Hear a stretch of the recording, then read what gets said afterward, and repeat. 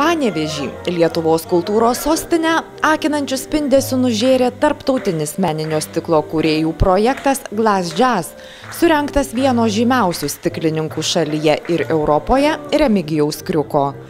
Visą savaitę į miesto pakraštyje Jono Biliūno gatvėje esančią Glastrėmi studiją, kurioje jau daugelį metų kuriami unikalūs meno dirbiniai iš stiklo, Lietuvą garsinantis visame pasaulyje, laisvai gali užsukti kiekvienas malsuolis.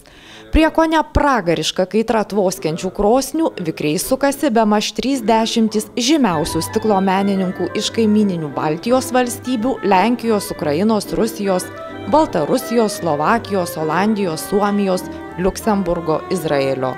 Na, o džiazo atlikėjams, jauniesiems talentams vadovauja nepralenkiamas virtuozas Rimantas Bagdonas. Taigi tvyro itin ugninga atmosfera. Graudėjant džiazui, raitosi liepsnos, srūvas kystos stiklo upės. Burtininkų rankose mistiškai virstančios neįtikėtinais pavydalais. Improvizacija.